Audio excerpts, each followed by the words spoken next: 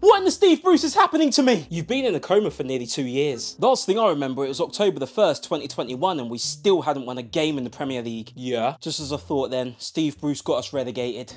Don't worry, I've made peace with playing Millwall and Luton Town. Well, you will be playing Luton Town. Great. In the Premier League. You stayed up. He kept us up. Yes! Well, he didn't keep you up. Who did? Eddie Howe. We got rid of Steve Bruce. Yes! I don't know why I'm cheering though. We still got Mike Ashley. Mike Ashley is gone. Hold on.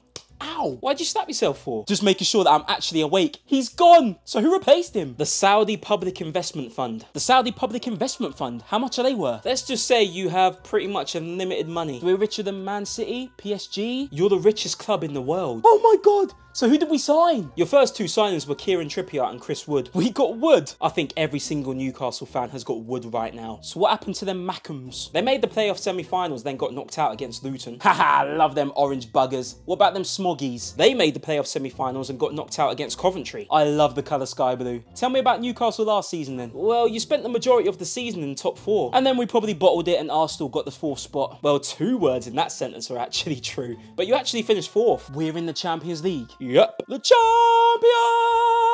Congratulations. Come on, so what other good news have you got? Did we win any trophies? Well, I've actually got some news on your mum. Oh god, no, what? No, it's good. She's having a baby. What? How's that good? She's 65 years old and she left my dad years ago. Who's the dad? It's me. Huh?